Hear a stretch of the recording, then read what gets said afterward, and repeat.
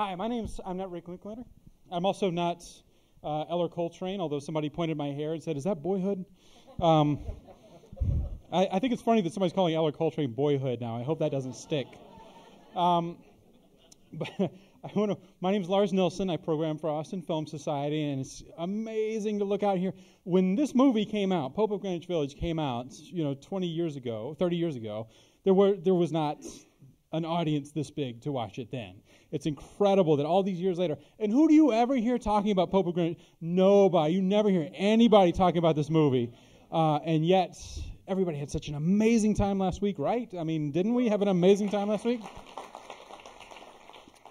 that we're all here, for every single one of us here, I think I can speak for the whole crowd, is going to watch every single movie in this series. Even the one where the axe hits the lamp we're even going to watch that movie and we're going to like have the most amazing introductions that have ever been made for a movie. Uh, and then we're going to talk about it afterwards. It really is like for people who've been to film school, I think what you have when you go to film school is you get some jerk that talks to you about the movie, and then you watch the movies, and then some jerk talks to you some more about some movies, and you're like, okay, well, I just spent a lot of money on that. You guys came in here and you spent like, I don't know, anywhere from five to like 10 bucks and you're going to hear not some jerk. You're going to hear Richard Linklater, the great Richard Linklater, who, a man who like changed the face of like independent cinema, is going to tell you about this film. He's going to give you this introduction. Then you're going to watch a 35 millimeter print of this film that nobody is ever ever going to show in a theater ever again. Let's face it. and then not only that, afterwards, we're going to sit here and you guys are going to get to ask questions, make points, and everything. And you're going to talk about that with like this giant of the cinema. It's a, like an incredible thing that's happening that uh, Austin Film Society, its members, the people that sponsor Austin Film Society, and everybody has made happen. And you guys who are supporting Austin Film Society by being here are making this whole thing happen. So it's amazing. Uh, also making this happen is the Sundance, Sundance Now Doc Club, which you can sign up. I, am sorry, I have to look at my phone. I, I, really hate people who do this on stage, but I, I have to read this copy. Today, tonight's screening is sponsored by the Sundance Now Doc Club, a new streaming video service dedicated exclusively to documentaries. Check them out at docclub.com and try this service for 30 days for free. Okay, so I said that. All right, and do it. It's, I'm sure it's a great service. Um, so, since this is the only screening that will happen within a pers- approximate range of I guess, maybe a thousand years of this film, then you really can't talk during the show. So that means, you know, obviously you don't want to yell at like, you know, you wouldn't like yell at Eric Roberts and say, "Oh, nice perm," but you also also try to avoid that whole thing where it's like where like there'll be a sign and it'll say Canal Street, and you turn to your friend and say Canal Street. That's a baffling neurological dysfunction I don't understand, but don't do that also. And then also, uh, like all the phones and devices and everything, kind of as a long range thing, you can just take that whole thing and just set it to silent, all the put it on vibrate and just leave it that way forever, which is a weird thing that I do. I don't know some people probably do that. But also, if you don't do that, you just turn it off during the course of the screening, uh, or just silence it. And if you have an important call, or if you have surgery, or if the liver came in, or whatever happened, then you can run out to the lobby and tell them to wait. Okay, so all right.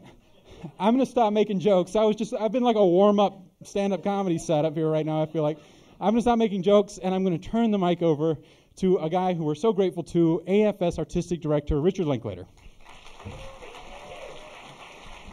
Thanks, Lars. You're a hard act to follow. anyway.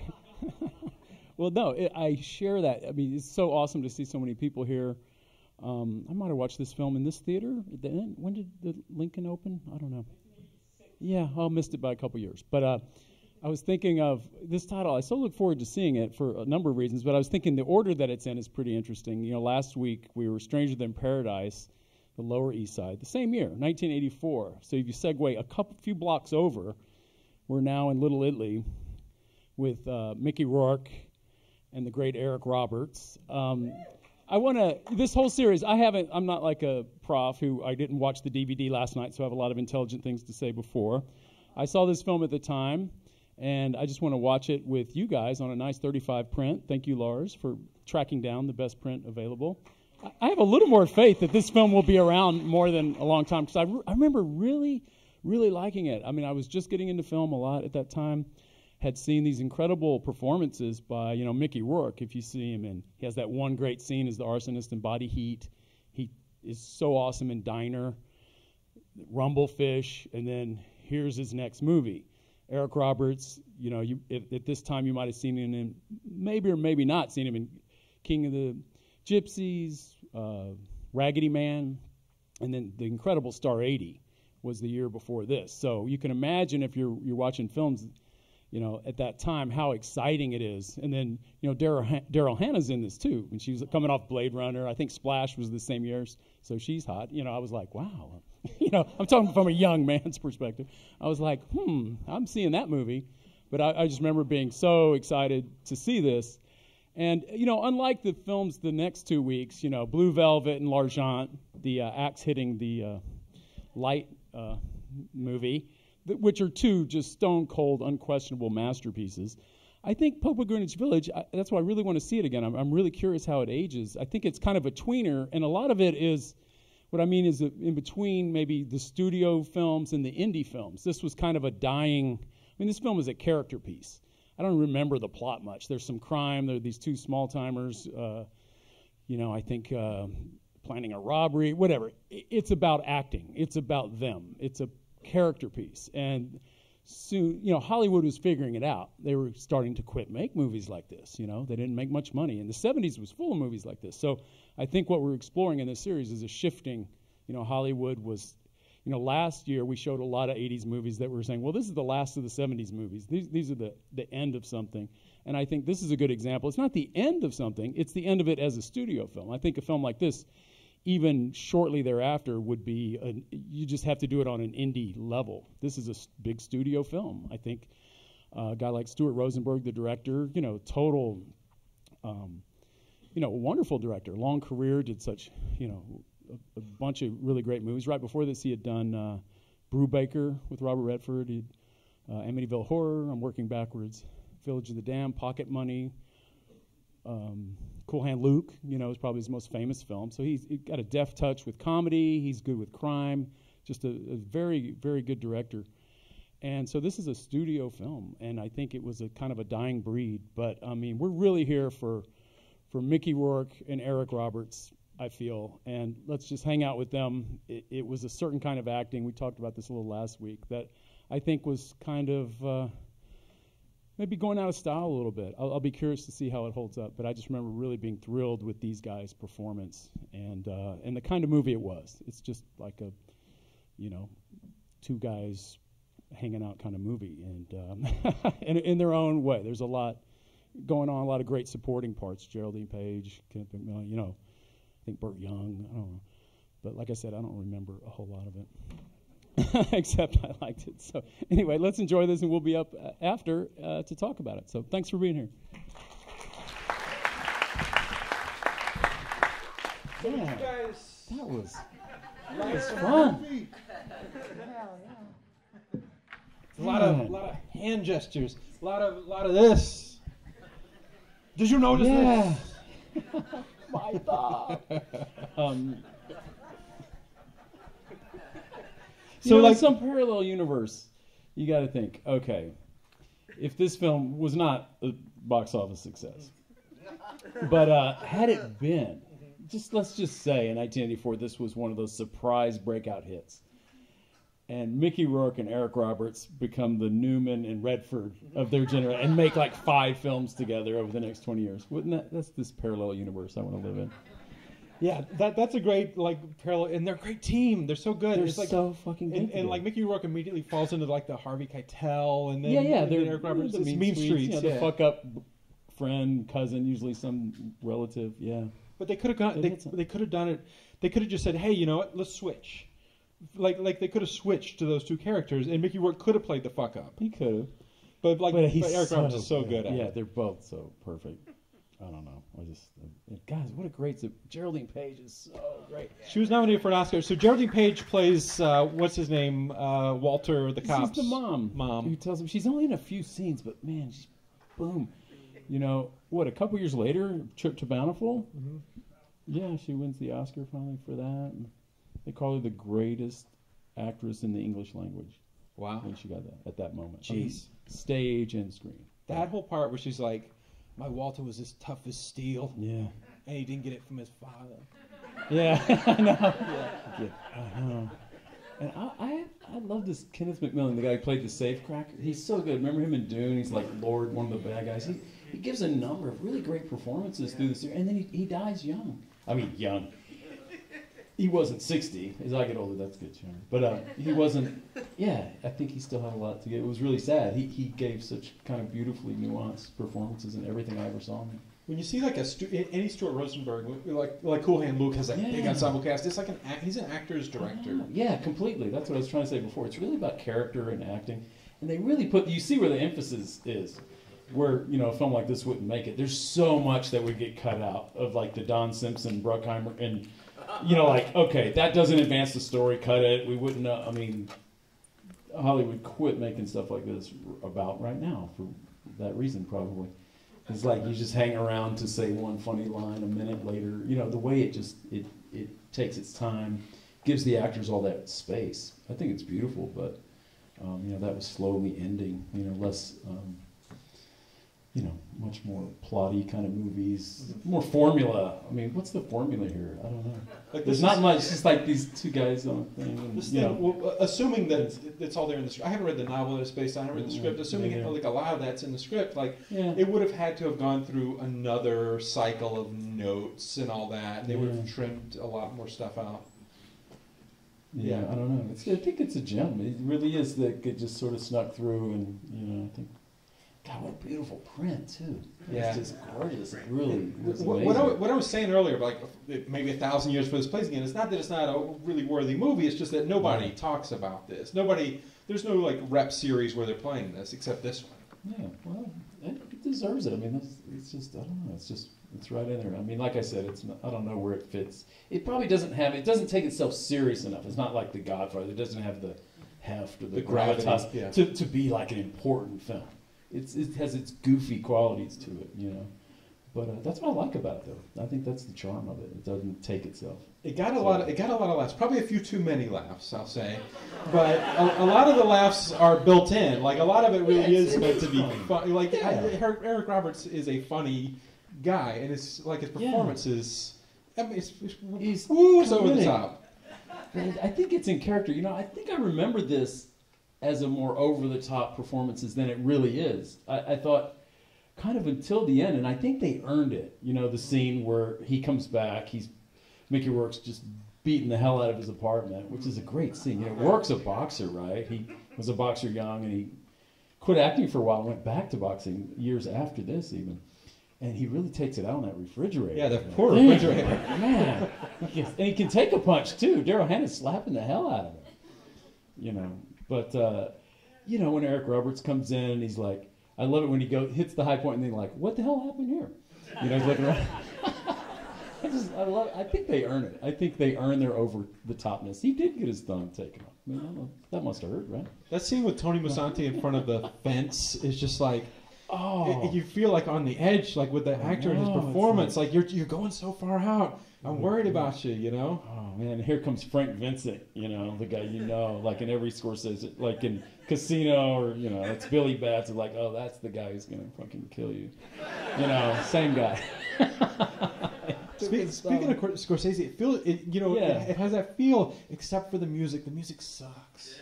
I'm sorry. In this. Yeah, the music in this sucks. Well, they went with the Dave Grusin instrumental, you know, they went with this, that score. I don't know. You Like- like that- some- that just about Does the jig music when the suck or cops does are around? a mood? What? Whenever the cops are around, it's like dun dun dun dun dun dun dun dun. dun, dun. Okay. okay. diarrhea cue is epic. The diarrhea cue, you know, the score goes. We're in the closet movie. It's incredible. If they had just fell in love and moved to Miami, I'm sure. I think we've got an alternate reading of the film. Yeah. yeah, there's something valid. They just spent a lot of time staring at each other and Until they cross the street, they're yeah, arm in arm. I mean, it's the yeah. More so than like Claude Rains and Humphrey Bogart Yeah, at the kinda in end that. of Casablanca. It was, you know, it's just sort of bonhomie. Um, they're eating that giant sandwich together. I do that with my friends all the time. What's inspiration? I wonder if we have any. Uh, Italians, you know, oh, those the, the Rourke, those Irish, those Rourke, Italians, Roberts, half- those Italians. They told him he's half. He's half Irish. What was he? He called him you're you're half. you half Irish bastard or yeah, something. Yeah, half Irish. Kind of like Henry Hill in Goodfellas, half Irish. there's a lot of half Irish. Those Italians and Irish, Irish. they take that shit serious. Wait, what percentage are you? Of? When you work in New York, I was just. Uh, we were just talking about it. Like when you work in New York, like the all the drivers Italian, all the grips electric Irish. You know, it's just not no exceptions. It's like okay, Even still, yeah, wow, yeah. that's interesting. So like, there's not like Senegalese grips and stuff. Yeah. All right, okay. Yeah. It's an international city, but Yeah. it's it, it's stuck in its ways. Italian, I wonder if we have any contributions from the audience, any Yeah. observations, any any questions or anything. It doesn't have to be like a question. We, we didn't a make a comment. movie. Uh, he already jumped in with the. yeah, yeah. He jumped in with the comment over here. Anybody else got anything? Yeah, right over here. I thought it was awesome. I mean, Eric Roberts was over the top, but I thought it just was so true to his character. Yeah, they balanced each other great. He was like this reckless 13 year old boy, and Mickey Rourke was always trying to reel him in, but just kept Yeah. getting taken by him over and over again, falling into the same thing and getting pulled down by him. I thought I thought it was super, and Eric Roberts was such. I mean, it was such great character acting. We watched Star 80 Yeah. last year. Star 80 last year. Yeah, and I mean, just a completely different. he That's a very different character. Such a different. If you ever have any doubt about that guy's acting ability, into his just- character. yeah. yeah.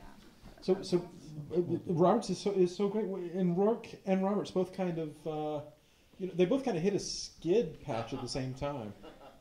Well, you know, actors they both did gr- excellent work throughout the rest of the. You know, I mean, r- let's.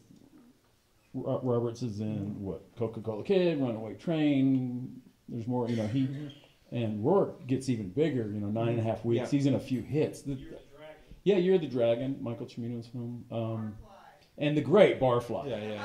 Yeah, a few years after this. So That's for and that's then- like next year. Jewels in the Wasteland next year, maybe. Yeah, Yeah, yeah. We'll get to that section of the. Yeah, that would be great. But um, yeah. So and you know those guys today, you see them in a movie, they still have a lot of presence. Yeah. And the, you know Robert uses work very interestingly, I think, and when they work together. And uh, Eric Roberts was just an inherent vice. Do you see that? He's he's good in that. He's like the man, you know. So I think I think you know. Again, these films that they're so good in weren't successful. That's what I, I'm thinking of tonight. It's like had those been more successful, there would be more. You know, an actor can't really control their career. You know how studio fuckers think. They're like, ah, the public's rejected them as a leading man. You know, move on to another. You know, so you, you only get you, you're not in total control It's like you said, like career, no matter how great you are. You know. like they the, the, these movies began to be made again, but but not in the studio system. I mean, they began to be made as like two million dollar movies, Yeah. if that. Yeah. So what I was saying before, this film just really doesn't exist anymore Mhm. in that, in that way. So, movie went through different genres. It's like I felt like I saw every genre in this movie. It's like comedy, and now it's like oh, it's it's a fucking gangster movie, and now it's this, and like everyone acted well in those genres, but at the same time, as a coalescent piece, it didn't Yeah. come together. That's why I laughed a lot. I think it holds it together. Yeah, I'm, I'm, But like the music too, it's like John Carpenter's like cue cue the like now it's time to cry, now it's time to be scared. And it's like doo doo doo, whatever music's happening, that's how we're supposed to feel. okay. We're down on the score tonight. all right, so th- if Dave, We Dave get it. Grusin can't defend himself, you know, I took a shot, you took a No. shot. Okay, that's that's that's enough for Dave Grusin. We'll give him a break. Great All right, right back Come on, here. man. I, I thought the ending was just so out of nowhere, but it was so great, and it's just Hollywood, of course, fuck it up, and but, and, but while trying to help. And, Right. And it, was, it was sweet, but such a fuck up. I thought it was great, perfect. And it was one of the, it's probably one of my favorite endings of, of a movie because it's so non. It's standard, you know. But uh, it reminded me a lot of Withnail and I between the two of them. Oh, right. One of the great buddy movies of all time. Withnail. Um, it does seem abrupt. He's giving the guy a lie. That's not gonna. And they just walk off very slowly, like nothing happened. Like lie, that'll fucking kill you, right? Is he is he dying in the street or whatever? It's like one of those. It's like one of those, will kill you. Is it? Yeah. Oh no, it's not good. You can't. What about all the henchmen around him with the? They're not. I love those New York, those little members only clubs, and you know the atmosphere. It's But Stark you could just walk You got one you shot. You run, take off, get out of here, and they're just like, eh, da, da, da. talking shit, like, window "Hey, shopping. yeah, yeah." It's it's like the ending of like Atlantic City. It, it, it kind of goes into this sort of dream, like, yeah, we got away with it. What do you want? Feel yeah, between Cutter's Way and Atlantic City from last time, it just feels like it's of that. What's But- that genre? But I think mm-hmm. we'll all take it, you know, and and that's the difference oh, between if it had been like a 1972 movie, they would have died horribly. Oh yeah, much more grim. Right. Much more. I mean, there things aren't going to get much easier. I like it. It's like well, except for you know her leaving and your thumb, well, things are looking pretty good. It's like things are shitty for you guys. Things are bad. Let's admit it. And let's not act like this kind of stuff isn't going to happen again, yeah, like it's in a month. happen tomorrow. I mean, they're coming for him. They know he was in. it. I mean, no, these guys are screwed. But Character is destiny, as Richard Nixon said. I wonder if we have any other. Uh, yeah, in in the back in the red shirt there. It kind of, I mean, it struck me that the director might have been messing around. Like, I, we're all talking about, you know, it's, I just feel like with that, it, he didn't seem to be taking any of anything seriously. The story, how do, and and the characters themselves, like they keep touching each other's faces, and I, I sort of agree with, I sort of agree with that comment before. I think he was making fun of Italians and people in that neighborhood. It, it, that's what it. it so is he going into satire within the genre of like Italian Yeah, like, crime? And, and it's you know it's you're sort of on edge at some points, but then he like throws something in where just it's making fun. I think a lot about point of view. I think that's actually like Paulie's and Charlie's kind of point of view of the world. There, there's this kind of goofy quality, Paulie that, but it gets really serious fast when they're about to, you know, when someone dies or someone's, you know, going to cut off your thumb. But other than that, he's right back to. So I think that's kind of the point of view of the movie. It can get really serious, and then it can be kind of like, well, what the fuck. You know that aerobic scene, isn't that? That's like the only time you really feel like you're in the 80s. You know, other than that, it has this kind of beautiful ambiguity to it. Yeah, it could be any time. I was like, okay, now we're in the 80s for sure. Yeah. sure. Other than that, it just kind of looked. That almost kind of has that feel of like some somebody who put money into the movie was like, yeah, but I gotta have this. Yeah, we got to have one workout scene. But this, what, what, one, I think one serious thing because we talk about like, you know, oh, so the director was probably doing this, the director was probably doing that. I think in a movie like this where you have two actors who are just going off, it, it calls into question like who's the auteur of this film. Like, is it Rosenberg? Is it kind of the because Rosenberg being in such an actor's director is kind of saying to the actors, "You go nuts, I'll reel you in if you go too far," sort of. So, it, aren't they kind of the auteurs in a way? It, it feels very like rehearsed, and I think they just put a lot of thought into Yeah. the, every little bit of the performances. I don't know the history of the movie. I don't know if they rehearsed for weeks. I don't know any of that, but it, it just it feels like it is. But that, to me, that's a very director driven. You know, any movie you just let the actors go out, it, it's usually a mess. Is it like, like so? So like, you're with inspired. you're kind of known. well, You, that- you are known but- as an actor's director. Like so, like you're you're directing you're directing this movie. like like how how That's are you kind of how are you working with them? How what are you doing? Whatever it takes, you know. I mean, those guys are so talented. I think you you're yeah you're letting them go, but then kind of just catching catching a group with who they are and just reminding them, you know, their characters and stuff. Like, would Paulie really do that? It's like, yeah, okay. Does an actress director kind of have to sublimate some of that ego, some of that thought that like this is my film, you know, in order to work yeah, with this a film like this, you go, you live and die with those performances. Yeah. you know. So yeah, you in that regard, you want the actors to think it's it is their movie. Mhm. There's no way those guys didn't think that was their movie, and it is. Know, So some of that sense of, of point of view of the characters, I think a lot of it comes from the the performers because they're making the movie, and it's like Yeah. they're the, the great actors like that are on the side of their characters so much. Mhm. Yeah, sometimes the director's job is really just to to kind of keep just kind of keep steering the ship a little bit, reminding them, and you know, we're just it can vary wildly, movie to movie, character to character, beat to beat. Who knows? But ah, it's a- kind of a- just a great cast. I just thought it was Um, right over here, yeah. Yeah, Daryl Hannah kind of acted in it. You know, Daryl Hannah is very good. She surprised me. I've Does that mean you don't think she's a good actress in other things? Or what? She's a great model. She was a great model. But, uh, In what? In what? I think Daryl Hannah's great. What are you talking about? when the pictures were moving, you know, it's just. When you see like a Brooke. Shields performance or something, like you you like, yeah, okay, that's. But th- this is Daryl Hannah. I'm sorry, I didn't mean to. She's thought she was wonderful. great. Yeah, no, I think There's a big difference. Like like She's she's great. natural, you know. Yeah. She's good. Give her a break, man. Yeah, give her- hey, we're, we're Team Daryl here all the way. It's Daryl's night. We, we love Daryl. She's great. She, she- her name's Daryl. You know, I know. She's so good. she's been through a lot. She's In the back, right back here. She cares. say about Charlie's character that he's willing to wait on Paulie other than the fact that they're family? Like, what, what else is it saying? There's no other than the fact of family. Family. That's it? That's That's Italian. That's Italian. It's Italian. That's those Italian. It's the blood. people laugh about it. It's it's true though. It's true. It's you know that's why you see this in, in a lot of like as subjects and stories. I think. Yeah, it's it's different. It's kind of it's. I mean, it's gone for. I mean, a lot of people who Mhm. don't have that sense of family anymore. Yeah. Like with Italians, when you would stick together and, and be in one neighborhood, it was really sense of family. I think Mean Streets is one of the archetypes of Yeah, that. Like, why are you hanging out with this fuck up who's making your life tough? And uh, to drop a name, I was hosted a screening of Mean Streets in New York once at the Directors Guild, and I sat here with Scorsese, and, and I asked him that. I said, "Well, that's one of the criticisms that I went back and read some reviews, and some people said."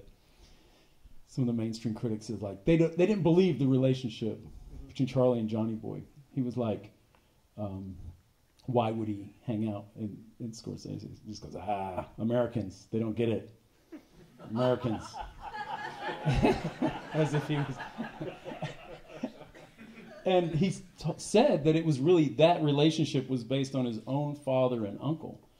To on his father's deathbed, he was still writing like a thirty-five dollar check to his fuck up brother like that went their whole life. He did that, you know, 20 years before those guys were gone. You know what I mean? It was that kind of brother or uncle, you know, the weird cousin. It's just family first, you know. So I don't think, you know, blood.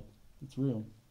I think uh, it's hard to think of two movies that are any more different than the movie that we're doing this week and the movie we're doing next week. And I'll just make a sort of procedural note here to note that next next Wednesday you'll be gone, Unless- but we added a show the Sunday after, so your pass is good for either show. You can come to the one where I guess you and I are going to try to film some something. I hope we remember to do that. Oh, right. film an Intro. intro, and then uh, and then on see Blue Velvet. and then on Sunday you'll be here, screen. Yeah, and we'll yeah, do this whole thing. But Yeah. Blue Velvet is very different. The style of Mel, it's kind of a diorama. yeah. film. It's kind of timeless, too. I mean, that's its own retro look and stuff, but that's just standalone, all time masterpiece, I think. It's hard to say it's David Lynch's masterpiece. He's made so many great films, but I mean, I think most people would rate it, you know, way up there. That was the first one when you really kind of got, really got to Lynch land, sort of fully complete. I mean, you, you, Eraserhead is like a dream. It's like a nightmare. But so is Blue Velvet, though, isn't it? Yeah, See it absolutely. a- yeah, it's- But it, but it's more of like Eraserhead. It's you look fully at it, there's, realized. there's nothing It's that in- you're identifying It's in with. this world. right. Yeah. You're identifying with Lumberjack. Eraserhead. This, this, now you're scaring me. I love Eraser. Me too. Yeah, I love Lynch. But there's no uh, there's no point of identification. Yeah, no, you're Yeah. right. You're right. But no, um, yeah, Blue Velvet. Whew. Great Dennis Hopper performance, and just everybody. Oh, can't wait to see it. and, and that's uh, and we'll talk about the Mhm. way that David Lynch directs, which is very different, and the kind the kind of movie that he's looking to have. And, Like David Lynch is obviously right on top. I, I'm curious to know the way that David Lynch would like direct actors, Hmm. like how much he's letting them go and how much he's like line reading them. I think he's on them. Yeah, Yeah, I've talked to some actors who worked with him. Where he's Like, like, you got to do it this way. He has real specific ideas. right, right. Supposedly, you know, Frank Booth, you know, Hopper's character, he came in and said, I want to make him kind of, you know, sinister, and more subtle. And Lynch was like, no, I want him big. Yeah, No, you're going that direction, you know. Usually it's the other way around, an actor going too big and a director saying, no. No, no." Hoffit. So with with a movie like this, you get the feeling like that they sh- that you know they had an idea, they rehearsed and they had an idea what was going to happen, and then like a bunch of magic happened because oh oh Eric Eric came up with this new thing during you know the first take and we had to use it and stuff like that. With Blue Velvet, you get a feeling like Lynch has the whole movie in his head, kind of Hitchcock like. feels that he's- way. and he's- like he's a painter of some Exactly, yeah, It's yeah. pretty. It's very precise. But that said, the performances are so yeah, they're really out there. You know, I love and Kyle and Laura Dern. That's such a wonderful, Yeah. youthful. I mean, that's a lot of movies in one. You know, Yeah, it really but is. all. And where he was at, it's kind of indicative. The '80s masterpieces just sort of happened after the failure or perceived failure. You know, Dune was kind of a down point for him, I think, in a lot of ways, and it was just such a comeback. You know, such a crazy. Uh, you know, like I said a lot last year that the '80s wasn't really kind to so many of the Mhm. kind of the best directors. It was a really tough time to get good films made, but uh, it was kind of the one of the great uh, rebounds of all time, and a kind of a he snuck that one in there. I think he made a deal with Dino De Laurentiis or something yeah. on Dune, like, "Hey, do my next film." It's like, okay, if you'll do that, you know, it was one for them, one for him. Yeah, it was a weird time in that you had um, you had a maverick, like a you know a billionaire Yeah. type maverick, like Dino De Laurentiis, and you had these weird companies that were still kind of kicking around. Yeah. around. They could they could do something like that, whereas like you couldn't see, you know, you couldn't see Sony, you know, no, taking no a chance on a studio, like that. Never, never. That's why it, it yeah, it's it's. I see it as kind of timeless. Like that should never have been made, and yet there you were sitting at the mall watching Yeah. Blue Velvet. It was fucking. Literally in the mall. For Yeah. people who don't realize, Yeah, no, I literally Blue Velvet was Played in malls. and It was kind of a sensation. I don't know if they made a lot of Yeah. money, but it was on the you know people were talking about it. You know, it was in the mall. Yeah, no, it was it was crazy.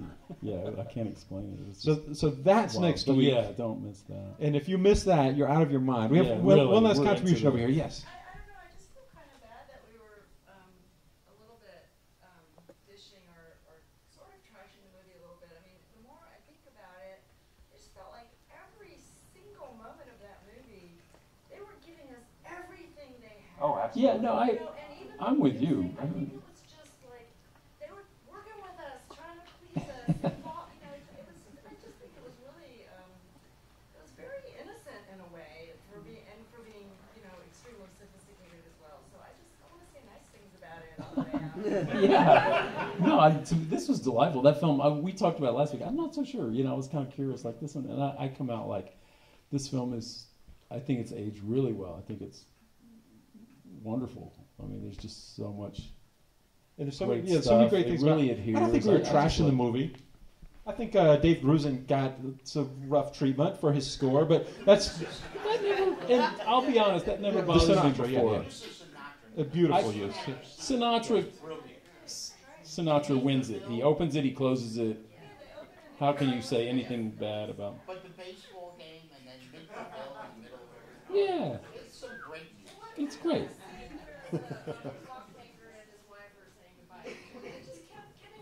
That's a great so many great moments, so many great scenes, and yeah, no, it's it's it's it's wonderful. It could have. In an alternate universe, it was a big hit. I, we No, were just talking about that. and, and they Let's have one last contribution because I, I, you know, we've we've uh, we've been on this for about 40 minutes. Let's uh, let's talk to you right over here. Um, okay, so I yeah, to say more nice things about the film, I really liked it because of how like casual and real it felt, and it felt like these actors were like really friends, and I could identify with like all of the situations that they were going through, like not like exactly on point. good. But I kind of feel like I, I kind of feel like I'm like the Paulie of most of my relationships. and, like, uh, and I feel good you like can admit everyone that. does have that one friend, and I think that it was just really well done. So. Yeah, I do too. I don't know. I think we had, this was a this was a great night. It was a great print, very special, and I just want to thank all of you. This was so great to watch this with everybody here tonight. Thank you. Yeah. And thank you, Rick. And thank you, See you Dave next Grusin. Grusin. You did good.